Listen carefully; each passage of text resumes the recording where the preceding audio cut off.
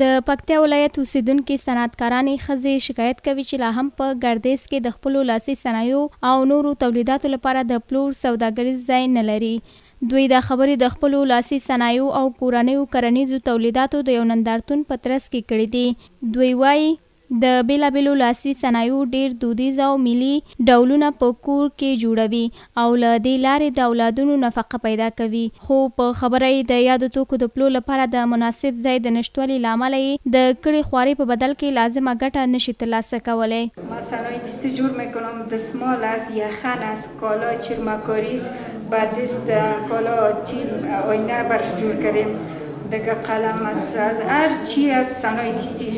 اونا را کل شما جور کردیم ما تو جای سم نداریم از دولت تقاضای ما است که با ما یک جای مناسب پیدا کنه که خرید و فروش ما فرمایش په حساب د چوکي ورکی کنه اوس فعلا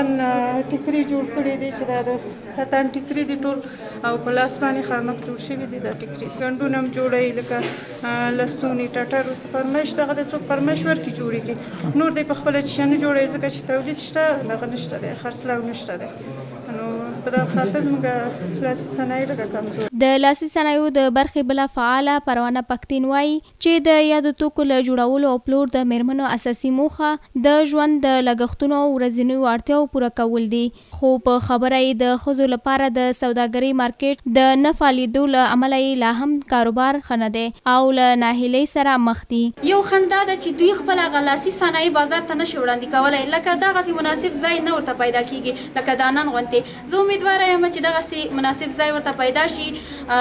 مېرمنې تر څو وکولای شي هغه خپل محصولات نمايش ته وړاندې کړي، ځکه مېرمنې خو بازار ته خپل هغه توکي نه شي وړلای. زنانه و باندې دي، جينکۍ دي، زه يم، ورور مې ده، دا سمزي کړو،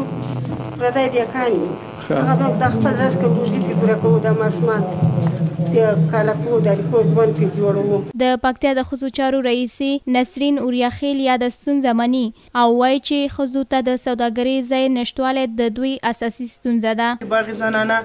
د خویندو لپاره یو بڼ ده، خو ما مخکې هم یادواري وکړه چې یو څه اندازه ترمیم کاري ته ضرورت لري چې هغه باندې کار وشي. ان شاء الله زموږ دغه خویندې چې په داخل د کورونو کې دي او دوی د موږ خپل دغه کوم پخواني او تاریخي هغه لاسي صنایع چې دي، کوم لاسي توکي دي، هغه به هلته کېني، بازار ته به یې عرضه کوي. په پکتیا کې سلګونه مېرمنې په لاسي صنایعو او نورو بېلابېلو کرنیزو تولیداتو بوختې دي، خو د بیا بیا غوښتنو برسېره یې هم په دې برخه کې لا اساسي ستونزه نه ده حل شوې.